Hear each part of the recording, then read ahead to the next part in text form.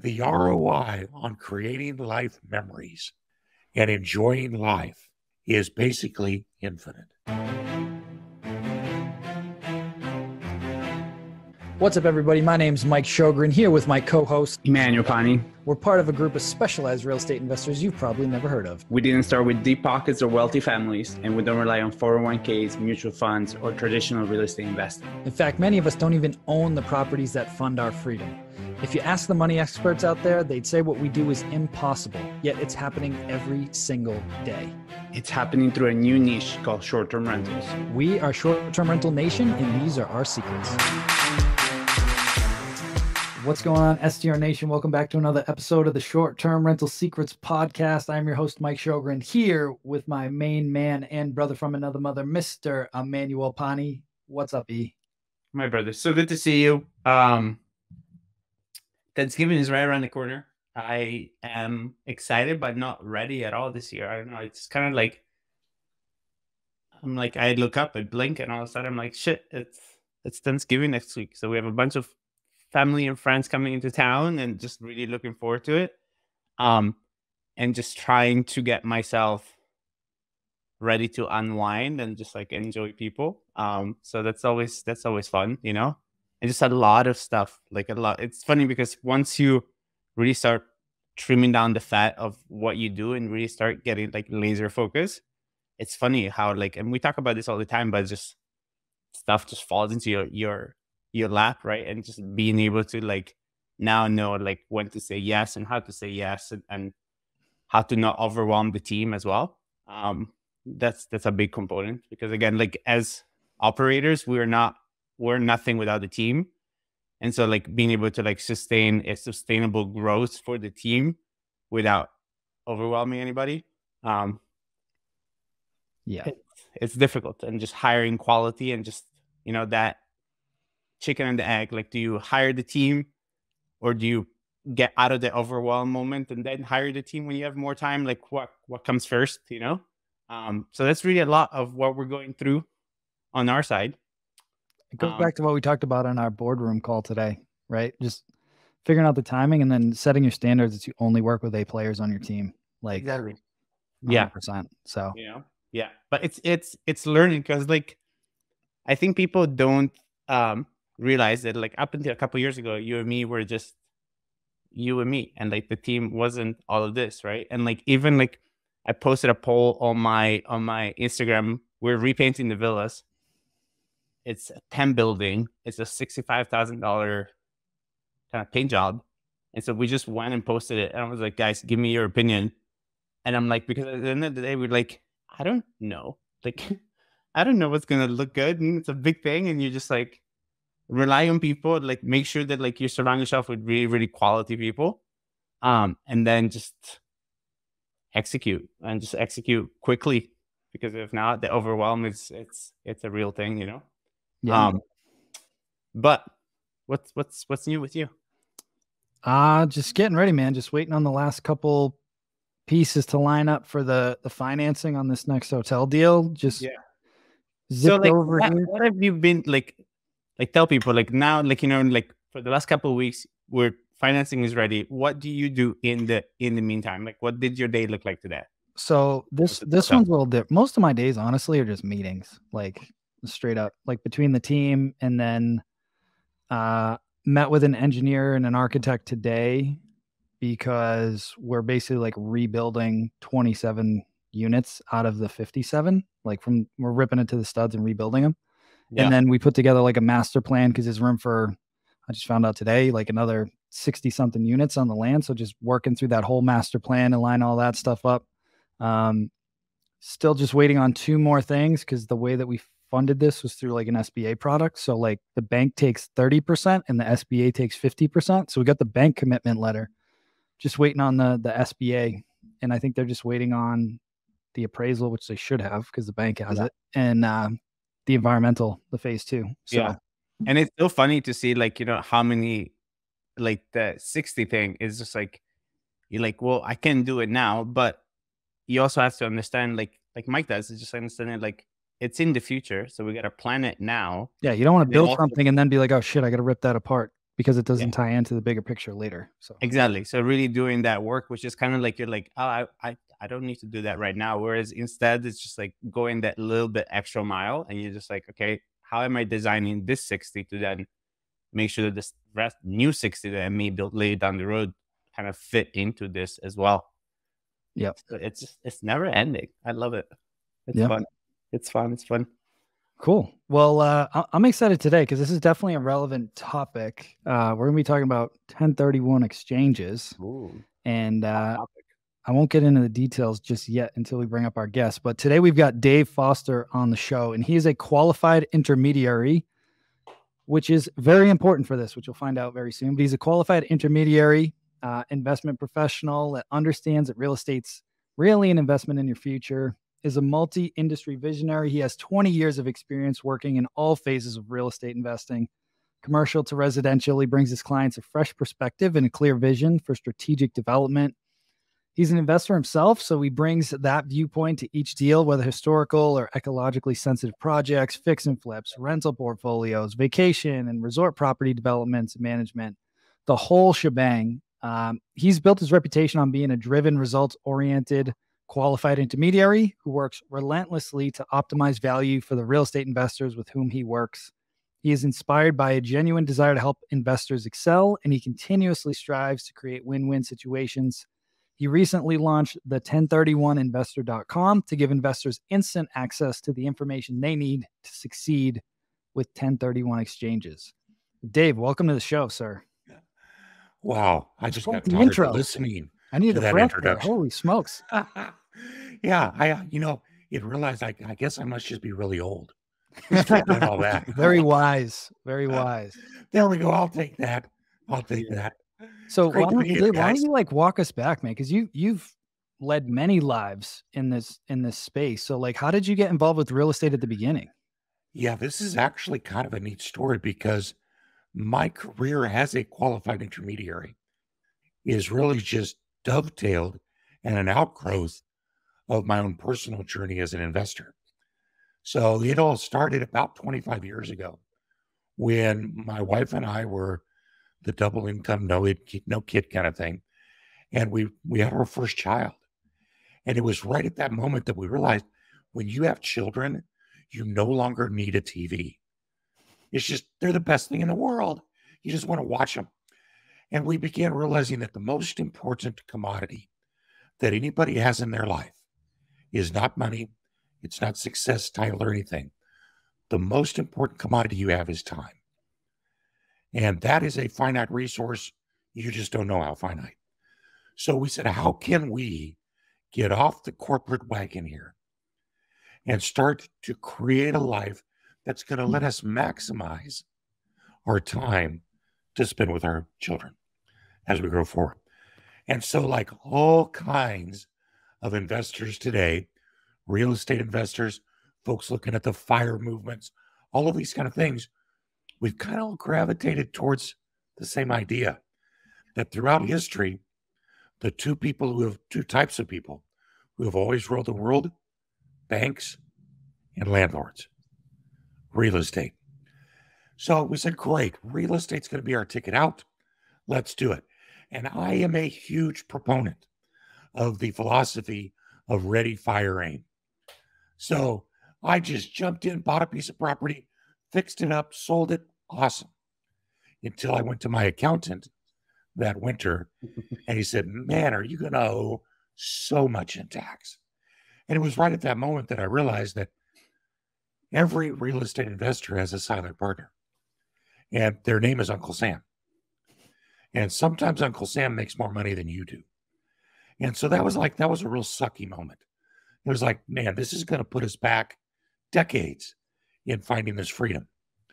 But it was right at that moment that a huge court case was settled that filtered down to me where this thing called a 1031 exchange, which had been in the statute since 1920, but the IRS lost a massive court case and now instead of it only being available to very high net worth, simultaneous transaction type investors, it was going to be available to regular folks like you and me to sell investment property and then go and buy investment property. And by doing so, you get to indefinitely defer paying the tax. And when I saw that, my gosh, the light just clicked on because what could I do? What could you do if every investment you make was guaranteed to get you 20 to 40% more return? It's not a bad deal, is it? And so that was right when we embarked on that journey. And it culminated 10 years to the day of being able to cast off the dock lines on our sailboat down near Emmanuel and live on a tax free bought sailboat, raising four boys using income from a vacation rental portfolio without ever paying a penny in capital gains tax. Hot damn. Who wants that, that life? Who yeah, wants that life? Doesn't that sound like the perfect like sounds like a Hallmark movie? Florida. That's a postcard from Florida. You know what I mean? It's like Florida, come live on a boat with your kids and don't pay any taxes. What I'm still trying to figure out to this day is how a girl from Minnesota, a guy from Kansas who met in Colorado, ended up on a sailboat in Key West. I mean, like you're you're just blessed like that. I don't I don't think there's too many questions about it. You know, I mean, it's been such a like, and I I love one. I um, I think if I had kids or when we have kids, I would still need a TV just to park the kids in front of it. I think that's my my style of parenting. I don't know if I, but I'll remember you in that. Gonna, I'm gonna get so much hate on yeah. this podcast from yeah. all the parents. Like he has no idea what the hell he's talking about. Okay, no, he, no, way like, past the statute of limitations here for yeah. child services. But you know, the sailboat, the thing called the mast, yeah, that goes way up in the air. So there's this thing called a bosun's chair, which is just a seat that you tie on to the rope that pulls the sail up. We didn't need a TV. We would stick our kids in the bosun's chair, and it was their own private gym set. Nice. Yeah. Nice. Okay. Okay. So I want to unpack this real quick, just Absolutely. to kind of give that high level explanation of what a 1031 exchange is. And right, it's basically like normally when you go to sell a property, and again, we don't need to get way into the weeds on this, but depending on how long you've had it, when you sell it, if the value went up and you made a profit, you owe capital gains tax or different tax depending on how long you've owned it. Correct. Right. Correct. Well, either that or if you've owned that property long enough, you have taken the tax write off called depreciation. Mm-hmm. And this is a nasty little secret that the IRS does not tell you that the gift of depreciation, the current tax write off, when you sell that property, they make you pay it back. So, so for all of our cost seg folks out there that are accelerating that depreciation, and then you go to sell it, if you don't go down this path of a 1031, you owe Uncle Sam quite a bit of cash. Massive, massive yeah. amounts. Yeah, this is the 1031 exchange, particularly now that the IRS has ruled that cost segregations can be included in a 1031, has made it absolutely essential. If you mm-hmm. sell without doing a 1031 and you've cost segged and you've made some money, you're in a world of hurt if you don't do the 1031. Yeah. So, so what we're talking about this. Is, oh. go ahead. No, what I was saying is we were talking about this offline. So, like, let's say somebody did the cost seg and that's their exit plan, and they have that as an exit plan, like maybe a year or two from now. What are some of the things that they should already be thinking about? Okay, like to do a 1031, I need to make sure I do what? Right. So, yeah, there's a couple things. They, they just sort of the things you don't do. Don't wait too late do not wait too late. Now, the qualified intermediary is the person that the IRS requires to do your 1031 exchanges. They have to be an unrelated third party. So the only role that we fill is performing the 1031 exchange. But every sale in 1031 has to have an intermediary. So I'm kind of like Switzerland. You have to use me, but I'm everybody's friend. Mm-hmm. But we have to be involved prior to the closing of the sale. So I still get calls every month. Hey, Dave, I sold a property a couple weeks ago.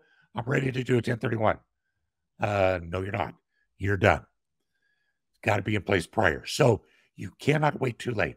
Yeah. But and why, and why is that? Like, why does it have to be in place prior? Because I think people don't understand, like, in in, in my limited education of it, the, the main kind of like little catch is that you, the individual, cannot in any way, shape, or form put your fingers on that money. And that's correct. Me, like one of the main things that people don't understand. In kind of in the similar example that you were giving, why was that too late? Because maybe that gentleman had the money in his pocket already, right? Yeah, there's two types of receipt of the money. There's actual receipt where the check or the wire goes into your account mm-hmm. and you've got it. But there's also a thing that the IRS calls constructive receipt. And that's where, technically speaking, you may not have the money, but it's under your control. Mm-hmm. So if you left it at the title company mm-hmm. and you call them up a week later and say, Can I have my money now? They're going to give it to you. Mm-hmm. That's control of that. Uh, that's constructive receipt.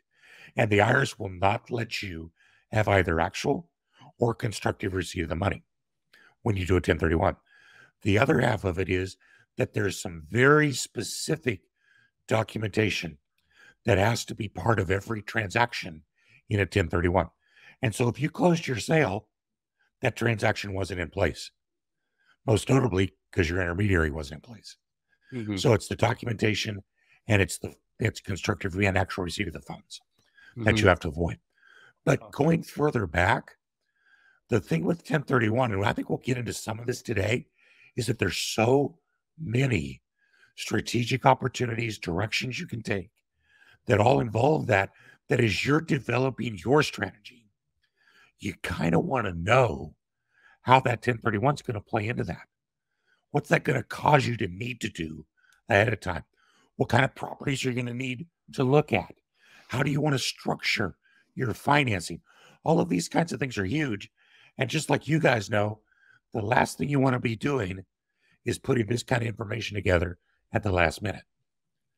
So you want to start your planning early, early, early to get the 1031 going. Mm-hmm. Yeah. So essentially, guys, what we're talking about is like when you go to sell the property and you're using that money to go buy another investment property, there's this 1031 exchange. So you're not going to pay tax on it because you're rolling it into another like kind investment. But there are some parameters around that. And right, Dave, correct me if I'm wrong, but it has to be, do you have to roll the entire amount? It has to be equal or greater size property? That's or? one of the strategic decisions you can make.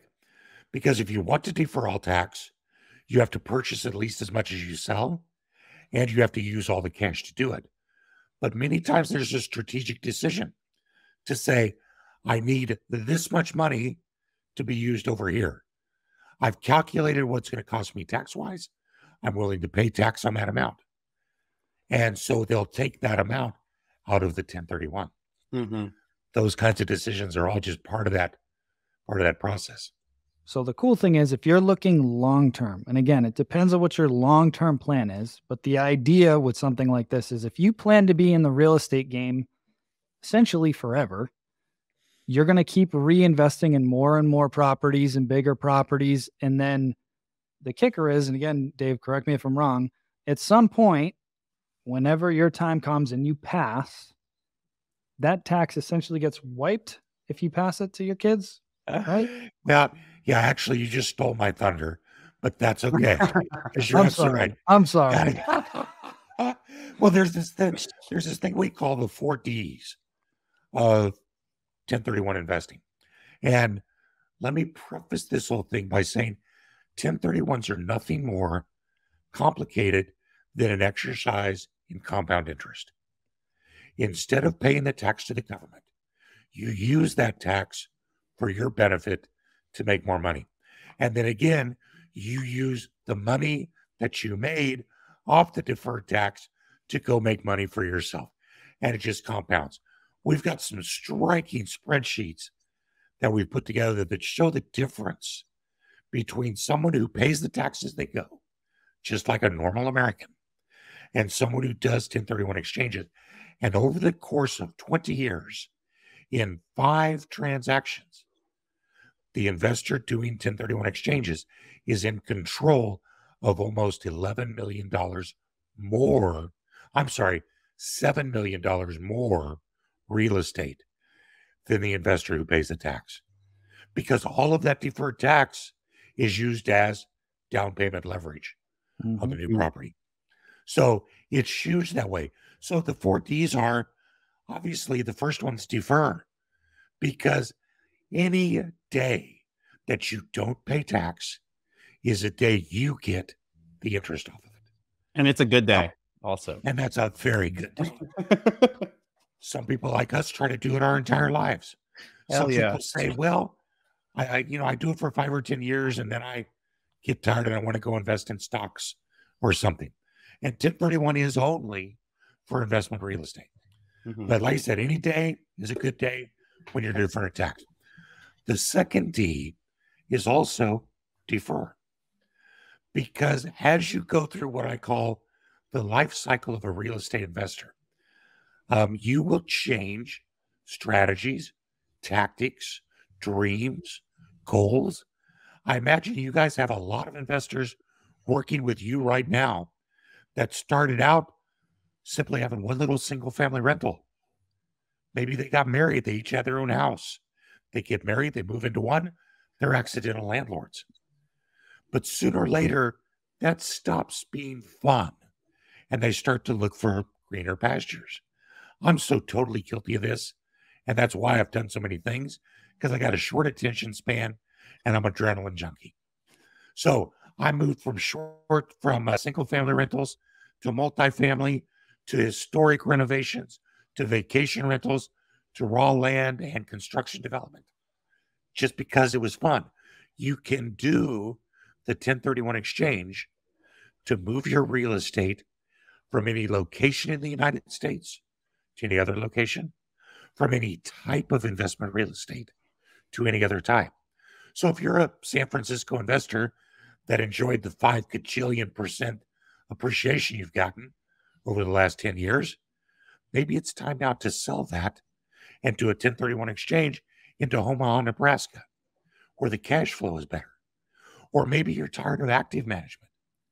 So it's time to invest in a tenants in common project or a multifamily project where you have centralized management. The 1031 exchange will accommodate wherever you're wanting to go. Mm-hmm. Now, what do you guys think? What's the third D? Decide. Steven, what do you think? Uh, it's an OP. Can you come in with the win? Uh, I don't know why delay's coming to my head, but I know it's not right. Well, that's actually well, that's actually a strain of the word. It's also defer. Oh, defer, defer, defer. Oh, Jesus! Because as you, you threw me for a loop, I was trying to think of another D. I'm like depreciation? No, I mean, well, kind of, yeah, but depression? No, depression. Yeah, that's if you pay the tax. Um, as you get further along in your journey, you're going to want to start looking at things like retirement and like passive for sure. And there are opportunities if you plan ahead of time to use your your real estate portfolio near where you want to retire, or to position it such that you can slowly begin to carve out even chunks of that tax free. And this is what I think we're going to talk about maybe a few minutes the conversion thing we talked about at the end of the show. But those are the first three defers. And then the last D, and I'm not even going to ask, you've already said it, Stephen. The last defers die. Defer, defer, defer, and then die. And it's not my favorite, but we're all heading there anyways.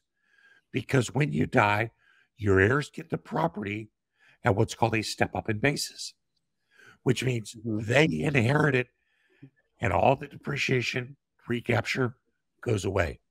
All of the tax on gain goes away. You don't pay it. Your estate doesn't pay it. Your heirs don't pay it. It's truly tax free. And we have investors that are on their second and third generation of passing money, our property down this way. Grandpa did 1031s, he gave it to his son. His son started over, did 1031s, passed it to his children. His children again got it tax free, and now they're doing their own. So, mm-hmm. what an awesome opportunity to defer that tax and use it for yourself your entire life, and then give it to your heirs and uh, let them Yeah, establish That's themselves. to me that sounds like the textbook definition of generational wealth right there. It's Mhm. like how you pass it down. Um, one of the things that we were talking about off air that I kind of want to tie in now, based on that, was you mentioned that you were in vacation rentals or short term rentals, the personal use side of it, right? If it, if you invest in these and you 1031 from a three bedroom into some 10 bedroom beach house, just throwing out numbers here, right? Can you use that property? Absolutely, you can. What qualifies a property for 1031 exchange, 1031 treatment, or actually, let me rephrase that. What qualifies a property for investment treatment? So you can't depreciate it, so you can write off expenses against income, obviously, take the mortgage interest deduction, and write off business trips to go see your properties. That's pretty key. Is that the property is held for productive use in business, investment, or trade. Now, that means that you're trying to make money off of it. There is actually a safe harbor from the IRS in Revenue Procedure 2008 16, if there's any nerd out there that wants to look it up.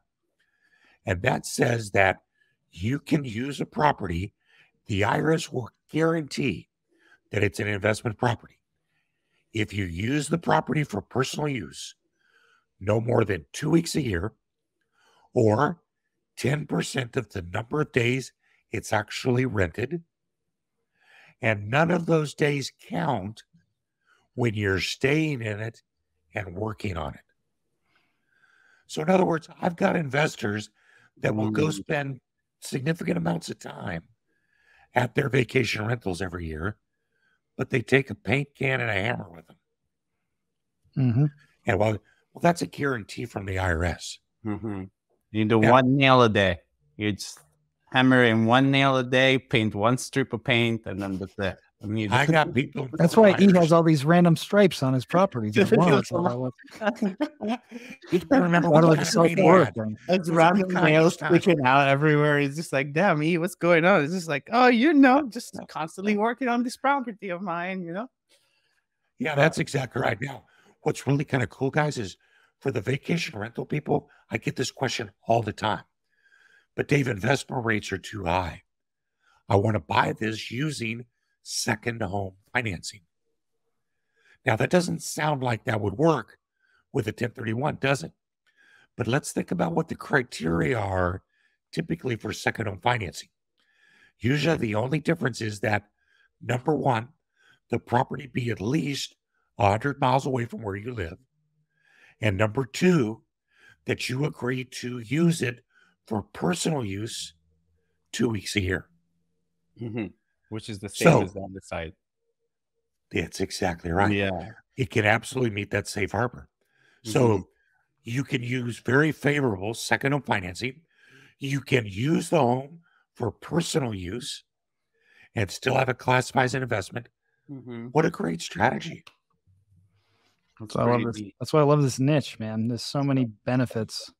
Um, one of the things, Dave, that we didn't talk about, and that I think we should talk about in terms of, and we can do it super quickly, in terms of people understanding what is required.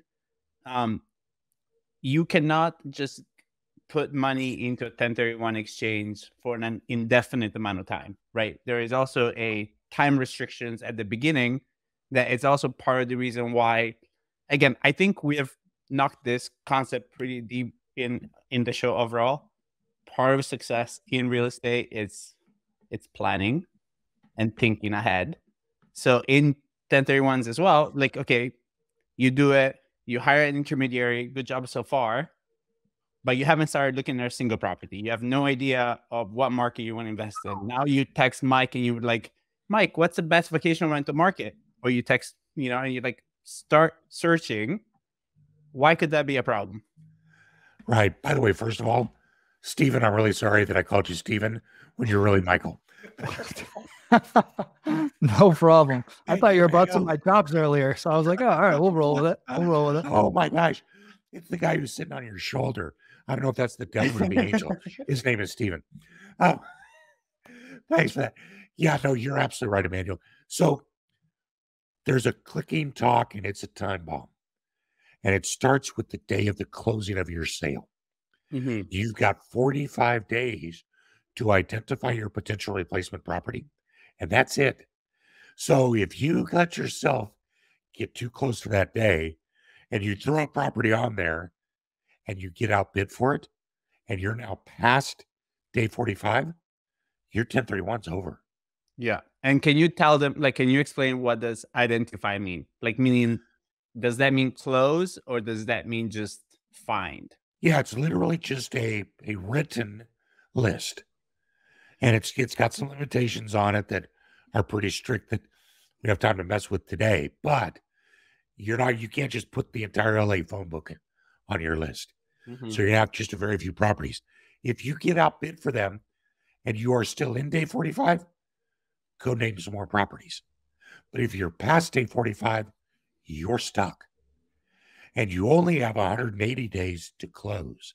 Now, 180 to close isn't so bad unless you're trying to work with some new construction or something like that.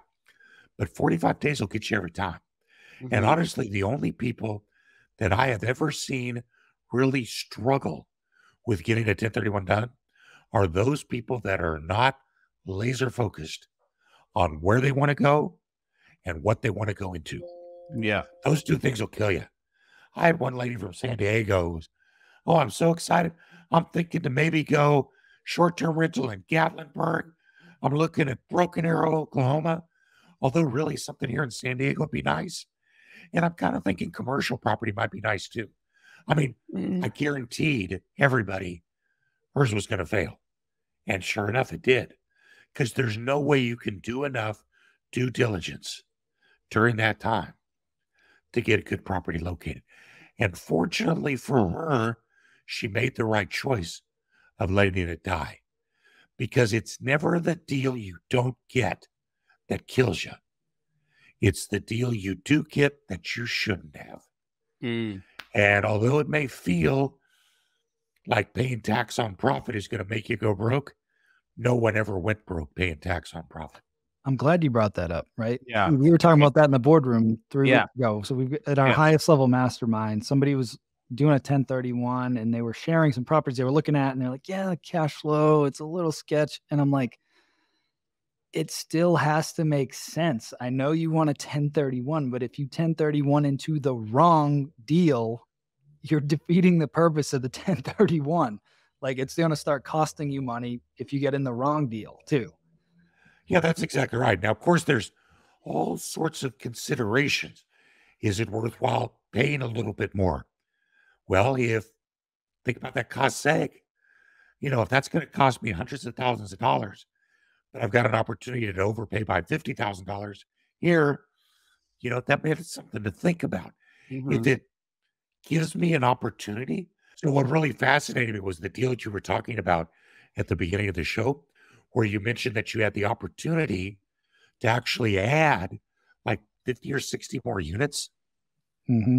Now, Think about that as a play. You can do some math and say, wow, although the cash flow right now might be substandard, what's the end game on this going to be? And that's something that might well be worth 1031 into, even though at the outset, it's not where you want it to be. What I tell people is that you've got to have realistic expectations, never go into a bad deal, but you have to take the market where you find it.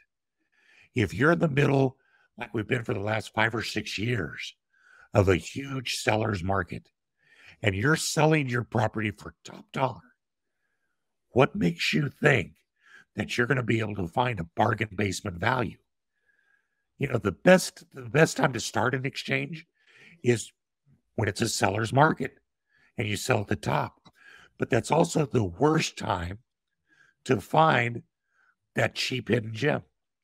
So you just have to have realistic expectations because the exact opposite is true. What's happening right now? I think we're about to see some softening. So it might become a little more difficult for you to sell your property. You may need to make some adjustments in pricing, but finding your new replacement property is going to become ever so much easier. Mm-hmm. And God bless the investor who sold their property 30 days ago and sold at the top and now has all this time to go wait for the market to come down even more. Being on that shoulder of a market is huge for the 1031 investor. You mm-hmm. can't time it, but you can sure. I was going to say, unfortunately, if we had that crystal ball, we'd all be pretty wealthy right now. But but, but I think I think one of the things that Dave has really like kind of like reminded me on the show so far is one just the good fundamentals of real estate investing. One is the fact that like if a deal don't work, sometimes there is a reason why, and don't break your head trying to make it work because those are the deals that end up hurting you. And two, being realistic with how the rules of life apply to everybody the same way. Meaning, like this example that he just gave, right? Like it's just like how unrealistic is it? But yet, how many of us listening right now have done that? Or how many of us are in that mindset anytime you sell something, you're always like, my stuff, even when you put up a unit, right? Like you you go live with a property, like, my stuff is gonna be the best. And then it's not, it's not. Or like the market teaches you. And when it comes to the stock market, people have come so accustomed to like the stock price goes up and down, whatever the stock price is. If you want to sell it, that's what it is. We come to real estate and people have opinions. And they're like, no, but I think it's worth this much. It's like the market is saying this. And you just gotta make peace with that. If not, you're just gonna wait and wait and wait and wait. Dave, question for you. If yeah. you wanted to invest in a real estate syndication, mm. can you 1031 your money into real estate syndication? Because there's a lot of people similar to your example that maybe have had active portfolios and now they're wanting to sell and they don't want to be active investors anymore. So can they take their money into a syndication? Yeah, it's absolutely a great transition strategy. The answer is maybe, but probably not. And the reason for this is that the 1031 is a sale of investment real estate. You actually have to purchase investment real estate. Most syndications are set up where an LP, an LLC has been created, and that entity owns the real estate. And what you buy is a membership interest in that entity. Mm-hmm. So you can't do the 1031 because selling real estate. But what you'd be buying is a membership interest in an entity that owns real estate and Got not it. the real estate itself. But unless, although, work, yeah, I was going to say, you, you mentioned it earlier. So go ahead. I don't want to steal your thunder again. yeah. Well, the hack is that there are a growing number of syndicators who will allow you to purchase a percentage of the real estate itself as a tenant in common. So you sell your real estate, you buy 10% of the syndication's real estate, and now you and the syndication develop it together. Mm-hmm. Yeah. So because it has to be under your name also, right? Or like whatever, like you have to be personally like with your name on it. Whoever the mm-hmm. taxpayer is. Yeah. Uh, because exactly. any taxpaying entity, and this actually is the second, this is for you guys in particular, but the second greatest application here is that we're seeing more and more syndications starting to 1031 themselves. So if I own a membership interest in your syndication and you find out you want to buy and you decide it's for your old property, then you could sell and the syndication can do a 1031 exchange. I don't have to do anything because I'm just part of the syndication. So you roll all of my money forward along with it, right? See the That's power every member in the syndication have to keep it though, or could the syndication doing the exchange? The IRS does not care who the members of the syndication are. So you could, if someone didn't want to go forward, have a, an agreement to buy out their membership interest. Mm. But what's awesome is you guys then have your guaranteed group Yeah. of trustee investors rolling forward tax deferred. Mm. Yeah. And uh, Dave, question for you. You hinted earlier um, about that beautiful postcard for Florida, right? You had the four kids on the boat in the Keys. I think you said the boat was but tax free. Did you do a 1031 into into the boat? Not quite. Okay. Sort of. Okay. We start. It's the story, and it's awesome, guys. Yeah, exactly. Um, I, I was hoping there was a story there. Absolutely. So Yeah. we started our portfolio in Denver, Colorado. Denver's got two problems. The biggest one is that there's no beach and no place to put a sailboat. So we knew that we had to end up going somewhere else. But while we were in Denver, we were starting to buy our 1031 hold properties. And in addition to Section 1031, there's another part of the tax code that deals with your primary residence and that is section 121. Section 121 allows you to buy a house, move into it, and once you've lived in it for two out of the five years prior to sale, you get to take, if you're married, the first $500,000 in profit tax free. And you could do that once every two years. Oh my gosh.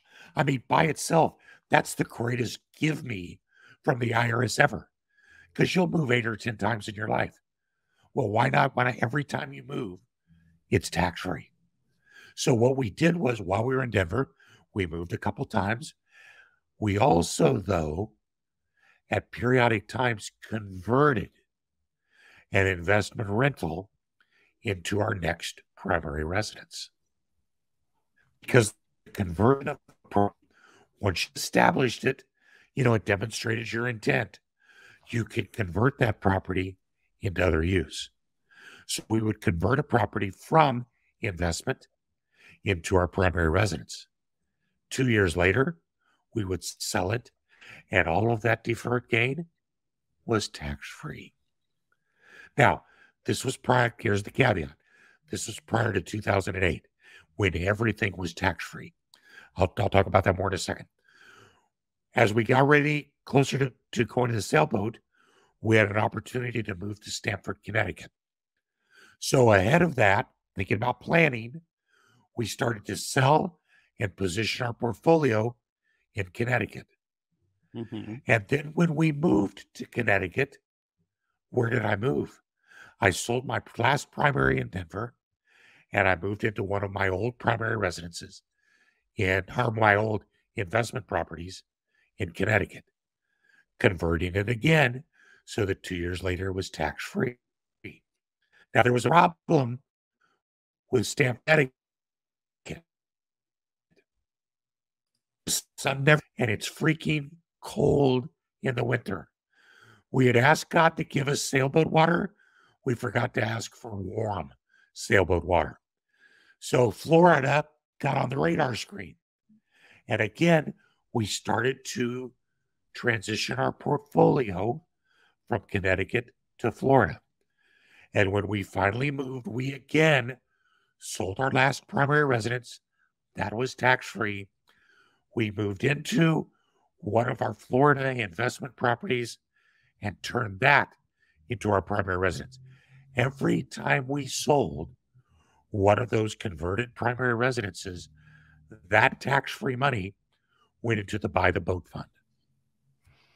Mm. And so 10 years to the day, to the week of setting the goal, we had a vacation rental portfolio that was providing regular income.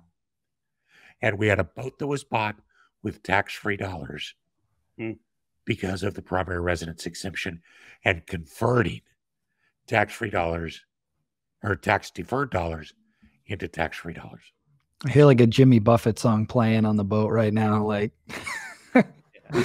cold Corona. But you know what's funny? What this reminds me of is people are like, "Oh, boats are bad investments," and it's just like, yeah, but the beauty about America and the tax system in America and just the laws in general and the loopholes in the system is if you know the system, even the thing that people are like, this is not a good investment. Is it a bad investment if it's free? Like if it's all from tax free money, you just need to know how to play the game because like you didn't do anything wrong. You just used the, the tax code the way it was written and you took advantage of it. And there's plenty of people that made live in a house for two years and not understand there's just like there is free money. That's well, why I remember. I was just sorry. I was just gonna say that's why like there's so many levels to this game and like the the importance of having a strong network and mentors and things like that is because once you understand all these puzzle pieces and you have the right people in your corner to ask certain questions think of the compounding effect over 10 20 30 40 years when you have the right information and you have the right Absolutely. strategies like if you're you know getting ready to retire and you're learning this stuff it's too late really like it's like you got to invest in those relationships and that education now and then let it compound mm-hmm. absolutely now remember when you're thinking about making a bad investment like a boat Emmanuel what was our goal in the very beginning? Freedom and time. Mm-hmm. We wanted to spend time with our family. That let us accomplish that perfectly. Mm-hmm. And I'm one of those people that actually thinks that that's a great investment. Like if it's something that gives you, like I am of, and again, I'm, I'm on maybe a different spectrum, but like I'm on the proponent that like if money is spent towards enjoyment and quality of living, it's money that is blessed and the return is there. People to me lack the understanding that personal use and enjoyment carries a ROI in and of itself that oh, to right. me it's superior to money. Like if I do a 20% cash on cash or a 30% on memories and experience with my family, my friends, the people that I love, and I enjoy my life in the process, the 20% cash on cash to me is not as significant. Obviously, different seasons of life, but you guys had a plan. And as my dad loves to say, work, plan the work and work the plan. You guys had it 10 years, goal, money aside. Anybody that would look at you and be like, that was a stupid investment, I'm like, great. Look at my kid sail on this thing, go up and down. To me, that's worth more than whatever you were being invested in. And that's oh my gosh, can can I rephrase what you just said? because I think that is so profound that the ROI on creating life memories and enjoying life is basically infinite. Yes. I love that. Who that's said the that? Name, that's the so name of the game. Like yeah. there are a lot of people that I talk to that are applying to the mastermind or whatever. Everybody says the same two things when I ask what their goal is. I want financial freedom and I want to travel. Like 99% of the time. And it's like, okay, cool. Well, when you get to that point, go do that then. Like, and have no right. guilt about it.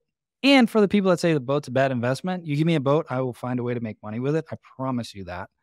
I know a guy that bought a $3 million yacht that gets to use it whenever he wants and then he charters it and he makes really good money on it. So you put yeah. your entrepreneur hat on, there's ways to make money everywhere. Absolutely. Now, here's maybe a little more middle of the road America twist on this concept that we're starting to see quite a bit. I have a realtor in St. Pete Beach who used the 1031 exchange and he bought three identical beachfront condos on the same floor, basically next door to each other over time. His retirement plan is that he moved into the first one. So he converted property. Remember, he sold his old primary. That's the start of his retirement. Now he's living in this property, still tax deferred. Once he has lived in it long enough, then he will be able to sell it at whatever point he wants. And remember, I said pre 2008. Since 2008, you don't get to take all the gain tax free. Somehow the IRS put a poster of me up in their lunchroom and I became a target. But now you still get to prorate it. So if he rented that property for two years and then moved into it, and he lives in it for five, he will get, when he sells it, 60% of the gain tax free. Now, he will pay tax on 20%. Okay. His response to that was heck, if I retired, I'd have to go delivering pizzas or bag groceries at a grocery store. I'm going to pay taxes and get a W 2 for that. This way, I'm going to pay tax for the privilege of just sipping coffee on my back deck watching the ocean. So, what a great retirement game. Where is he going to move, guys? When it's time, he's going to move next door and start that clock over again. I asked his wife, How are you going to know when it's time to move? She said, Yeah, when it's time to redecorate, we'll just move. And all along the way throughout their retirement, they're going to be carving out chunks of money tax free, paying a little bit of tax, and living life large, retiring. Yeah. That's available for mainstream America. Yeah. And and I love this and I know a lot of people like if you're on the handy side of things, right? So if you listen to me and Mike and we like we hire the team and the people do stuff, and like I love doing the work myself, right? Mike, you're muted. But I love doing the work myself.